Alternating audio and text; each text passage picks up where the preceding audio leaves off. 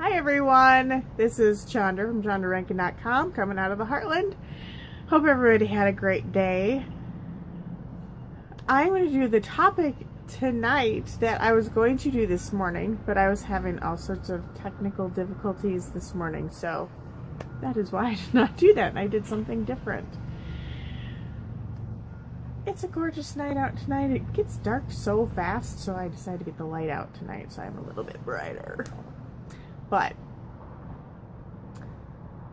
my topic is inspiration. And I've had several people ask me, where do you get your ins where, how do you think of the things that you talk about every day? and mostly they just pop into my mind, but it's because partially I'm paying attention to what's going on surrounding me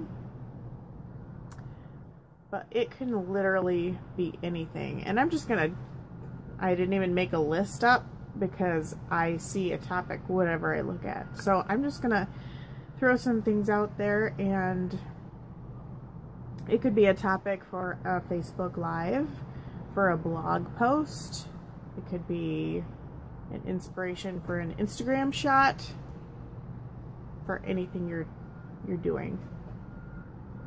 And again, this can pertain to business or it can pertain to lifestyle. So gear that toward whatever your end goal is. Oh, does anybody else have something that inspires them or something that gets their ideas going? How about you, Bridget? Hi, Bridget. I'm talking about inspiration. So, well, here's an example. I this is still sitting out here from oh, let's see, a week ago Saturday, actually. This piece of wood. It seems a lot lighter now. It's probably dried out. This piece of wood that I picked up on a run a week and a half ago. I think the bugs are all out of it now. They were all crawling out of it on me that day. But that was a piece of inspiration, believe it or not, for a Facebook Live. Another source of inspiration could be a book that you're reading. And if you don't want to put forth the time and energy to read a book, and I get that, there's only so many hours in the day, but um, you could listen to an, an audio book and that you can do while you're riding in your car, while you're working, if you're doing something a little more monotonous an audiobook and trust me there are probably millions out there to listen to. Um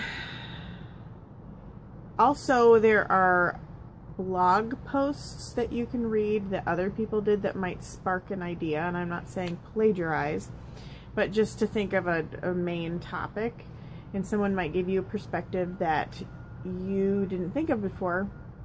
And you can actually talk about their ideas. Just you know, comment. I got it from blog XYZ and they were discussing whatever. So you can you can use ideas that are out there without plagiarizing and just talk about that and maybe pertain my next point, which is use your own life experiences. So take someone else's maybe checklist or list of 10 things that as a how to to create a blog and put your own life experiences toward it because everyone has different life experiences. That is a big one, and I, th I think it's a really good thing to combine stories from your own life to maybe the more dry academic lists. Because nobody wants to just say, okay, here's a list of five things to XYZ. That gets kind of boring. So I always try to add in some sort of story, and something happens every day, it seems like. and you should be able to draw on, or you can use anecdotes from famous people or whatever. Another source of inspiration for blog posts or Facebook Live or whatever you're doing for content could be quotes, either success quotes or quotes from famous people, whether that be celebrities or political leaders, um, presidents, things like that. And I'm not keeping count of how many I'm doing here. I'm going to create a list and post that. But these are in no particular order. Other things are, well, look around. right behind me I've got some rosemary. So if you're a gardener, you could do posts on various herbs or various healing herbs because that has does have a healing property to it. Or got some mums behind me which are on their last leg because it's getting cold out. But you could, if again, if you're a gardener or if you're just relating gardening to success or life or whatever your message is, talk about how you grow it, how you, I don't know if you call them pruning them, but you um, pop off some of the buds when they first start coming out so the buds come in more full. So many different things. There are so many different varieties, colors. There is a topic everywhere. There's a topic, there's a lamp right here. You could talk about light. You could talk about how many times it took Edison to create a light bulb as far as success. You could talk about electricity and how that goes through and how your blog is your hub of your information and everything comes to it like, you know, like it does the electricity through the lamp to make it work. Anything can really pertain to that. I'm trying to think of other things that could fit in with that. I've used um, different checklists and checklists are great because you're like, okay, these are the top five ways to do whatever. Or I've done um, productivity lists, top 10 ways to help create more time in a day.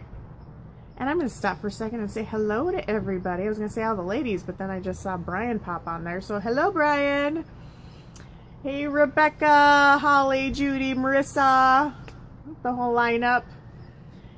Um, again, I'm just discussing a few inspirational ideas to help you think of a topic if you want to do a Facebook Live or if you do a blog or whatever content you need to do. Maybe you're doing a lesson for someone. I've taught lessons to, hey Tracy, you could be creating a sermon or you could, I don't know, you have to do a presentation for work. Thinking of different ways to spark that creative spark in your mind to create content for your presentation. What are some other things? Um, they could be the current events. And I would say, I would just caution you when you're thinking of current events, um, realize whether your post or your presentation will be controversial or not. Because obviously, if you would have done something political recently, that would probably be controversial. You could do it in a non controversial controversial way, but know what your intent is when you're going through that and know what your how your audience might take it.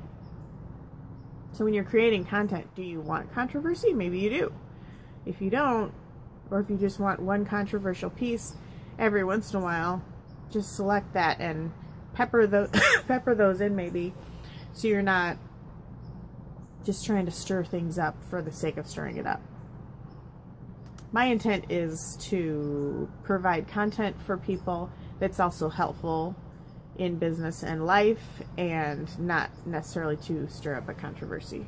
Because in the end, you usually don't change people's minds, you just piss people off. So just know where you're coming from on that and what you might run into what else? It could be something you, something, and you don't have to um, note where you're working, but it could be something that happened to you at work that's funny. And I don't mean anything that would be get you into trouble, but I'll I'll say an example. My friend Brian, who is on here, he plays with the West Point band, and they were on the Today Show the other day, and he looked over. They were in the green room before performing He's sitting next to Sting. I am so jealous about this, and I can't keep...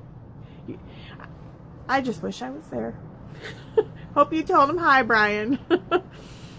so, just random things like that. Did you run into somebody that you didn't real you didn't think that you would run into that day? Um, are your post or your content could be pertaining to the time of year. I did a series on the harvest, and that stretched out for eight days. Easy to do. And I'm actually doing blog posts about that now to just kind of tie, finish the loop there. But right now, it's almost Thanksgiving, so you could do a post about how thankful you are. Or I know that um, Holly, who was watching, and another girl that I know, Carrie, we're doing something of thanks for every single day of November. I think of what month it was this month. So tying it in with the time of year is a great way to do content. I mean, you could probably do something, like I said, for every single day of that month. And thank you, Bridget. I will, I'll hopefully see you soon. Have fun at work. What are some other things about content? Different landmarks in your life. It could be your wedding anniversary, and you could talk about some anecdotal things regarding that. Or you just went to a wedding. I just went to a wedding. I could talk about some things about that. Or, let's see, if you had a death that of someone that was meaningful to you, you could talk about some ways that they impacted you positively in your life.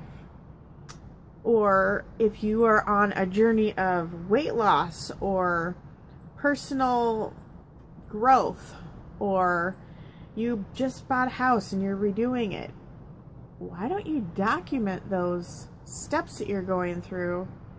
And that can provide inspiration to someone else. You don't have to say, oh, I weigh 125 pounds now.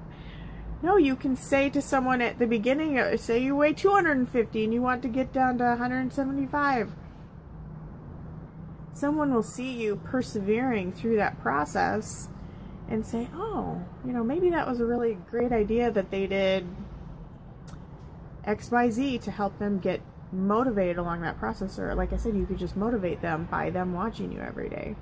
There's so many ways that you can create content that are great and unique, and you can share ideas with other people that they might not otherwise hear. So that is the post I was going to do this morning. If you have other thoughts and ideas of content that you're interested in, and it could be anything you're passionate about too. I keep thinking of more and more ideas.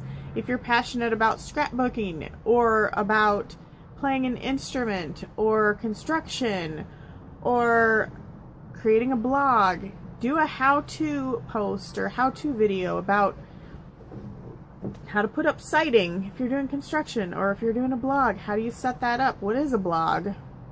Maybe someone doesn't even know. So there are so many things. Like I said, literally everything that you look at can be a blog post. I'm looking at in front of me and I said I was going to kind of wrap it up, but I lied. but um in front of me there are some different rocks that have been collected and some are geodes and you could talk about many things as far as um, what is a rock versus a stone. And I laugh because I kind of made a joke about that one time. I won't go into that, but a rock versus a stone, or what is a geode, or what kind of earth creates different types of rocks and rock formations. I think I could go on and on. I still have a really pathetic looking tomato plant sitting here in front of me. It looks pretty bad, but it still has some blossoms on it, shockingly. There's a ladder sitting here. This is like the land of random right around me here. There's a, a ladder, this chunk of wood. Like I said, some mums and some herbs, um, an old jug, bunch of construction tools, concrete tools. What else? What else we got around here that I could make a blog post about? Um, well, I could probably bore you all night with that. My my surroundings here. But it is endless. You just have to look and you have to pay attention. And that's really all. Because there is content surrounding you. And if you can't think of something, actually, one thing I do every day if I can, I actually missed it today, but um, in the system that I'm working in, there's a wake up call every morning at 10 o'clock, and I just put on my headset while I'm working and I listen to it and it's usually mindset. It's not how to, but it's just mindset content. And it's inspirational. And who does not need a little bit more inspiration in the day, especially in the morning? So it is a great way to start the day, hear some familiar voices, and just get going and get jazzed up for the day. Did I say jazzed up? Energized? You know what I mean. So, if anybody thinks of content ideas that they like to use, I like to use memes. I love looking up different success quotes. I think I already suggested that, but success quotes, I love them. Um, the other night I wrote and wrote, read, not wrote or anything like that.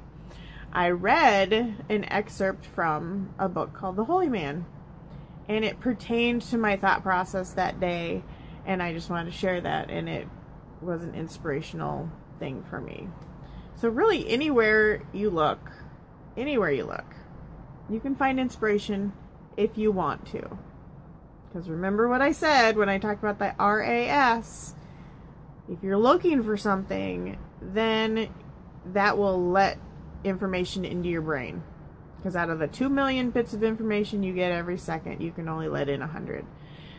So focus on what you, you know, You I want to look for content. Your brain will show it to you.